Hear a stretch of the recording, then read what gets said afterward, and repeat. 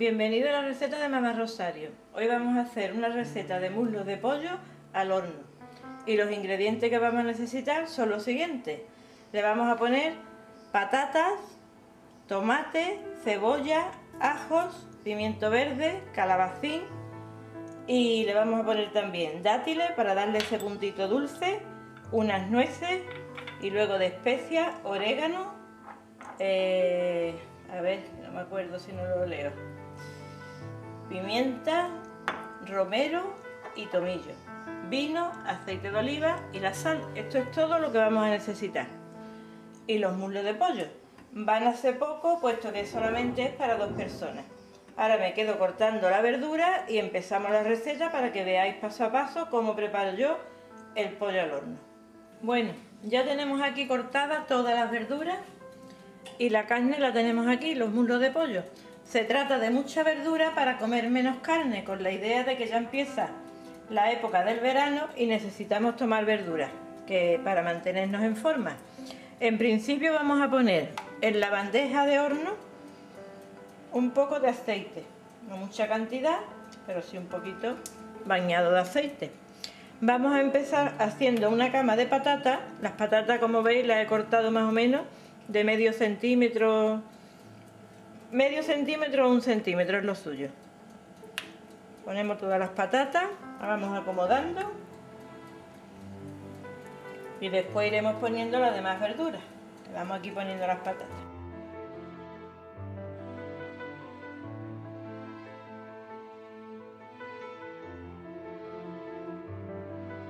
Ahora le ponemos la cebolla.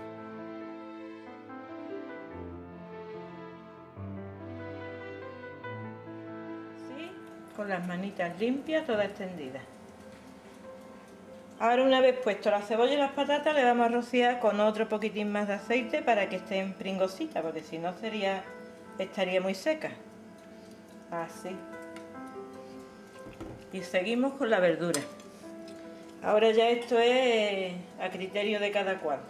Se puede cambiar el orden. Se puede poner antes los tomates, después los pimientos o viceversa.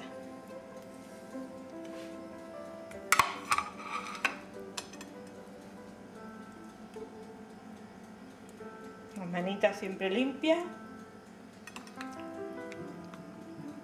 Y ahora ya viene los calabacines, cortaditos en rodajas también, de este tamañito.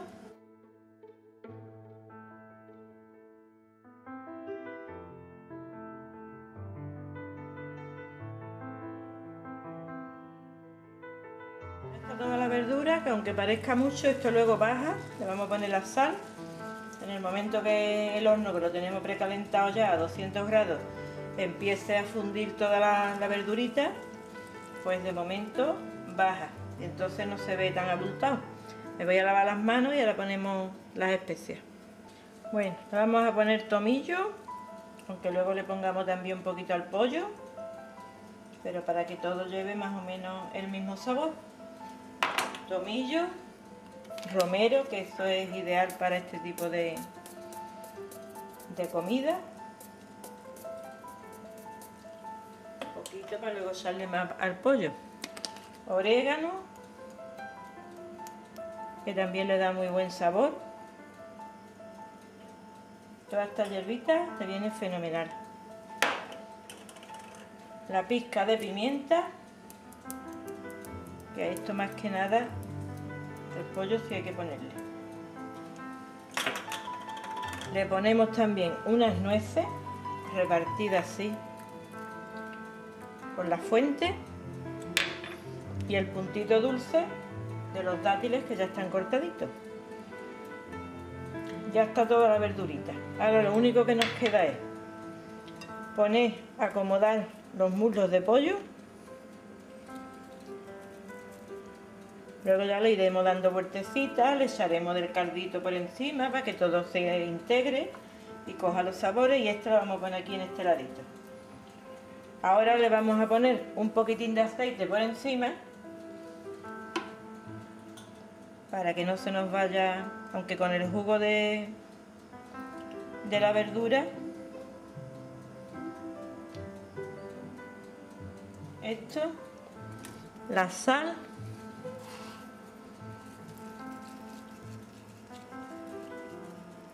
mucha porque ya la verdura lleva y luego nos va a parecer salado. Bueno, le vamos a poner un poquito de pimienta a cada muslito. No mucha porque ya lleva las verduras pero todo tiene que estar por igual. El orégano también poquito porque ya lleva las verduras. Así con cuidadito de que no se nos vaya la mano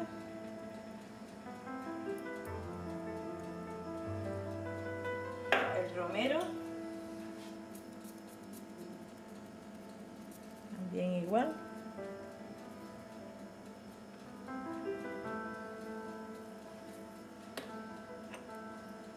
El tomillo.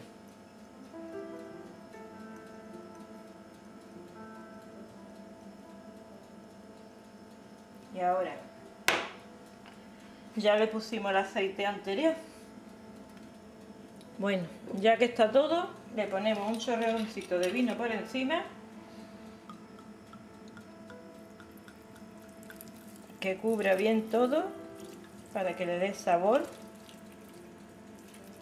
Y nos vamos al horno y lo tendremos el tiempo necesario como 20 o 30 minutos hasta que esté todo tierno y luego lo presentaremos.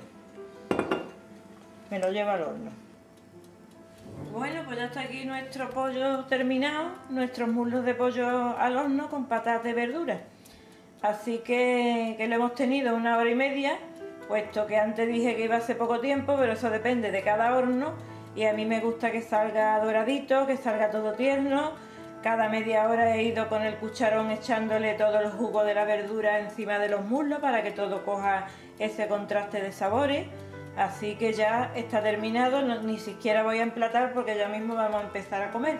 Así que nada, me quedo aquí, me despido de vosotros.